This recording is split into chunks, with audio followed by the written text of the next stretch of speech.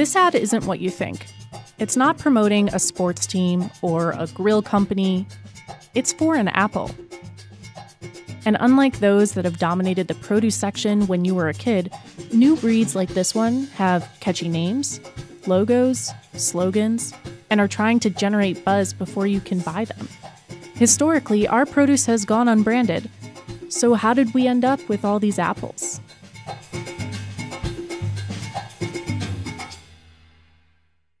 For most of the past century, America's iconic apple was that of Snow White, lipstick red with shiny skin and a crisp white interior, aka the Red Delicious. First grown on an orchard in Iowa and originally named after its founder, when it came out in the late 1800s, it was dubbed the best apple of any time. Growers and retail stores loved the Red Delicious because it looked good. It was uniform in size and color, turned red before it was ripe, and wouldn't bruise easily. And Americans loved the taste. By the 1980s, close to half of all apples grown in the US were Red Delicious. The trouble is, when you bite into one now, it doesn't really taste that great. People complain of mushy flesh, tough skin. Its defining characteristic can sometimes be that it has no flavor at all. It takes years and a lot of money to develop a good tasting apple, but growers were incentivized to cut costs, even at the expense of taste. That is until one apple proved them wrong the Honeycrisp. The Honeycrisp is everything that the Red Delicious was not. When it came out in 1991, after 30 years of development, it had a refreshing taste, a delicate skin, and a soft, juicy crunch. And even though it can cost more than two times the average price of apples, consumers then and now are willing to pay a premium price. So much so that it's now the fifth most produced apple in the US.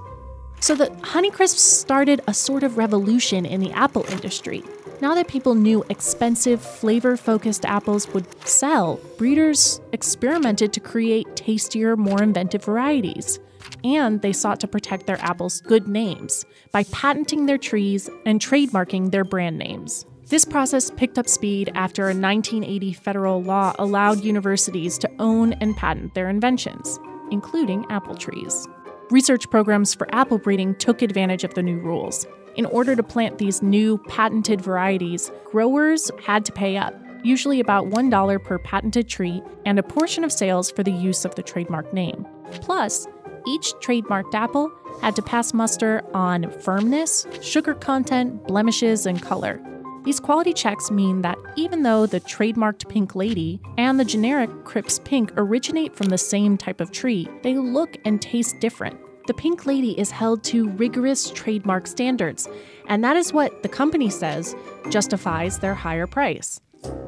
Now, not all new apples get trademarked. It's only those that experts believe can garner a premium price and it can take up to 10 years after securing a patent and trademark to grow enough trees for commercial production.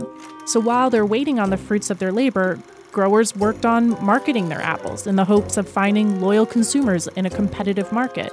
And they're not alone. Visit your grocery store and you will see a lot more name brands in the produce section. Branded fruits and vegetables are a growing trend. While not all branded apples will see success on par with the Honeycrisp, there is one that has high hopes. Washington state growers are ramping up production of their Cosmic Crisp, an apple that's both sweet and tart, firm and crisp, and much easier to grow than the Honeycrisp. They're trying to get people excited about tasting something new, and that's not a bad thing. While we could see higher prices in the future, fruits and veggies themselves will objectively be better, and consumers will have more options, just like we do with our phones, or our computers, or our cereal. And now, our apples.